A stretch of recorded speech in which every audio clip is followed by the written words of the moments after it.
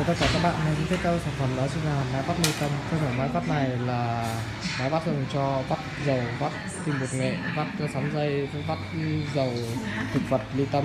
Cái máy máy này là công suất là 370W, dây đồng, điện 220V Với kích thước cao đáy cao từ đáy chân chân lên là 75 75 lồng cao đáy bên trong lồng bên trong là 22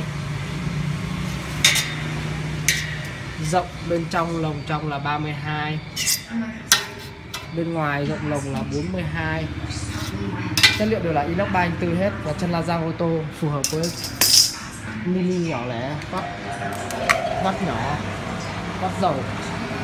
Đấy, công suất rất là nhanh nhỏ gọn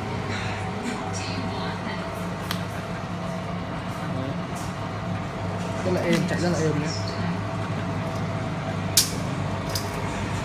Các bạn mua máy này lên hệ qua số 0934468222 các sai sửa máy thêm chấm con có liền trên dấu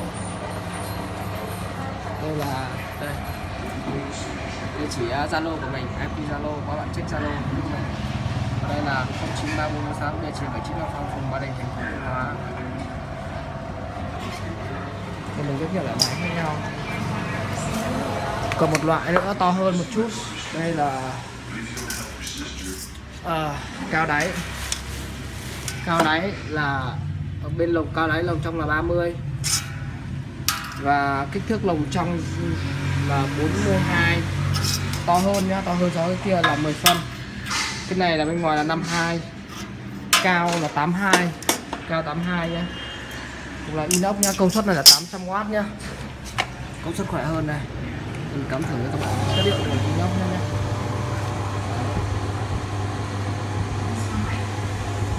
Rất là êm nhá.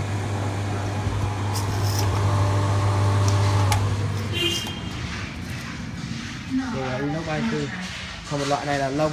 Lồng trong to hơn này. Lồng trong là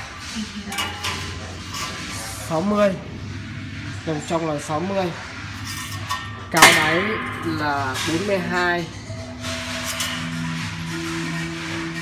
à, bên trong lòng bên trong còn tổng diện tích cao là 1 mét cao 1 mét. Cao 1 mét từ đáy lên motor lắp này là công suất là một, kg rưỡi. Một kg hai đến ba kg chất liệu đều là inox hết. Phù hợp với vắt quần áo vắt chăn vắt uh, chăn vắt quần áo vắt vải. Rất tốt đây có ba loại các bạn có thể chọn thoải mái cho hạt tẩm thuốc. Ờ, cảm các bạn. Thì mình rất nhiều loại máy khác nhau nha máy rửa củ quả. Máy xay dầu, máy xay xong, máy ép tinh dầu rồi. Máy băm. Máy lò lọc, quay vịt và quay vàng, máy làm kem tươi.